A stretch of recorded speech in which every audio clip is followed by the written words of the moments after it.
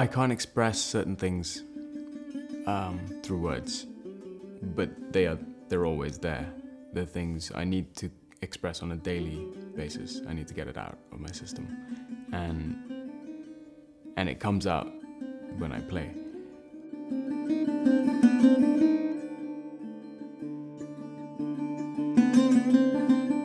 It's really simple. You pluck a string and it makes a sound, and it's a beautiful sound. It's really that simple. Like, that's my favorite part of playing. There's nothing quite like, you know, when you take out your instrument in the morning and you, you just, you, you tune it and then you pluck a string and there it is. You know, it, it's all there and it's everything that you feel as a musician and everything that you, everything just disappears actually. Um, and all you hear is that one string. And that's all you need.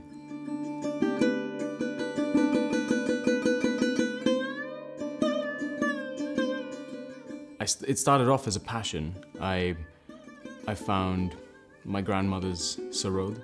It was an accident. I was playing cricket with my brother, and uh, and the ball hit a corner, and it and it just went twang, and I, I had a look at what it hit, and it was this old, beautiful thing, and I didn't know what it was. And it, it was until my father came home that evening he told me that it's his mother's sarod. And from that day on, I think there haven't been that many days that I haven't played the sarod, and and that was when I was 10 years old. So um, 20 years. Ever since I was a kid, I I was constantly playing, not necessarily practicing what I should have been practicing, you know, scales and things like that. But I was constantly playing and and creating new material, and um, I didn't know what that meant. I, I was just making stuff up. I started learning from Pandit Buddhadev Dasgupta, who is a legend of Sarod, and he lives in Calcutta. So I only saw him for about a month, a year. So the rest of the time, there I was in Harrow, um, you know, in, in, the music room downstairs on my own, um, making stuff up, because you know you, you have to you have to you have to play something. What is that something going to be? Well, there are three schools of Sarod. There's the first one, which is Gwalior, which is uh, spearheaded by Ustad Amjad Ali Khan. There's Maihar, which was spearheaded by Ustad Ali Akbar Khan, and he's passed away now. And the third one, which is the Sainia Shahjahanpur uh, school, or Gharana as we call it. And that one is spearheaded by my teacher, learning sarod or learning Indian classical music is very much like, and I don't exaggerate, I think, when I say this, that it, there are similarities between martial arts and, um, and Indian classical music. The kind of dedication, the focus, the, the hours that you put in, and also the, the humility needed, you have to kind of give yourself to your guru. And sometimes he will put you through hours and hours and hours of rigorous practice without, without giving you any indication of, of why you are practicing this thing. And you just have to go with it, fingernails bleeding and uh, back hurting and you know all kinds of rheumatisms. But you work through all of that pain, and then you you you you emerge on the other side and you realize that this is a kind of a life training kind of like ninja, you know, like they, they really teach teach you to to hone in the instrument and make it make it an extension of your body.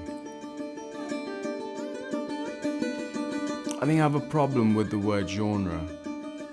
A lot of people put me in, in, in world music. And I feel that there's this silent third in front of that title of that genre. And I have a real issue with that because surely world music means music from Brazil, India, Europe, Antarctica, Iceland, wherever. But it doesn't. World music specifically targets areas of the world where there is poverty, there is, um, you know, people picking up things from the trash and making instruments with them, or people uh, drumming on bins, you know, and then suddenly oh, they're like, oh yeah, this is this is world music. There's something quite rustic about this. You know, it's not sophisticated, and actually they're missing the point. The, the point isn't sophistication. The point is is soul and passion. Bernard Schimpelsberger, who is from Austria, he's a percussionist and a drummer. Um, we met through MySpace in the days of MySpace, and he wrote to me and he said, "I'm in London. Can we jam?" And and we did, and I think we jammed for three or four hours uh, solidly. One day I said, "Should we make this a bit more official somehow, or should we make a band, or or or, or a collective, or so, or, so, or something?" And he said, "Yeah, why not? Uh, let's start off as a duo." And so it was called Circle of Sound, and we made the first album. We went on tour, the British Council kind of took us up and promoted us a lot. And we went to Australia, Algeria, Spain, India. And then um, while we were on tour, we got bored of playing the same material. So we were like, let's write new songs.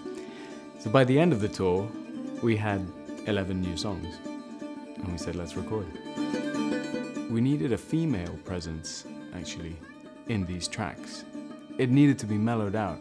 And so we asked Rosabella Gregory, who's a fantastic singer, songwriter, and keys player, uh, to come and collaborate with us. Um, on the same vein, we also asked uh, Fiona Bevan, who's a fabulous um, singer songwriter and bass player as well. And so she came and collaborated with us. I've been friends with Anoushka Shankar for a while, but it's it's never we've never worked together. And so finally there was this one track and I just thought we have to do this with Anoushka because she's got something really special in her hand. Like there's something incredibly sweet and beautiful and yet powerful. And and I think a lot of it comes from her father Pandit Ravi Shankar who's inspired us all, but but a lot of it is her as well. And so we made this track called XY, which is literally the X chromosome and the Y chromosome coming together. So Nitin Sawhney has been a huge inspiration. Uh, I was in my late teens when I first heard Prophecy uh, and these songs like Say Hello and Sunset. And they became like kind of anthems for me I had no idea that I would ever meet him or anything would come of it, but um, I did end up meeting him. He asked me to come and play for some movie scores um, that he was writing, and and then after that I said, well, I would love to have you on my next album, and he said, yeah, and then so we wrote this track um, called Skeleton Leaves. It was it's a real honor to work with him. I can't remember the year exactly, but Jay Z was on a world tour, and London was a stop, and and the venue was the Royal Albert Hall. I was working a lot with Talvin Singh at the time, and Talvin invited me uh, onto that project because he was working with Jay Z as well, and I was still at university at this point. I was skipping lessons, and there I was in a rehearsal room with Jay Z and and all his peeps. Like he, he doesn't understand what this is. Like like what, what is this sarod you know so i play for him and he starts rapping all over it about four o'clock in the afternoon um, all these ladies walk in with shopping bags into the rehearsal room uh, everything stops and they look towards the door and beyonce walks through the door and it's just like wow you know so she sits and listens to everything and at the end of the rehearsal she's saying um, I'm gonna do a song, Jay. And uh, he's like, okay, you can, you can, do as many songs as you want. And she says, but I want to work with these guys. And she points at me.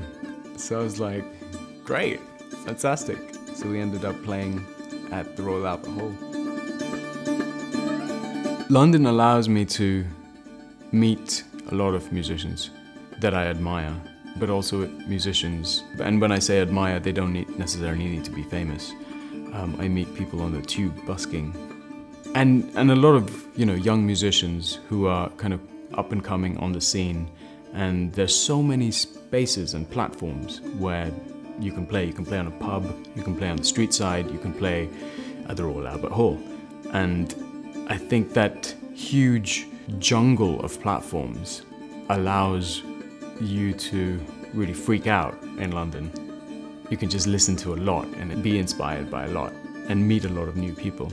Um, and, and along the way, if you get to work with them, that's great. If you don't, then at least you know you've met them, you've been inspired. So yeah, I, I love London. I'd like to live here. Yeah.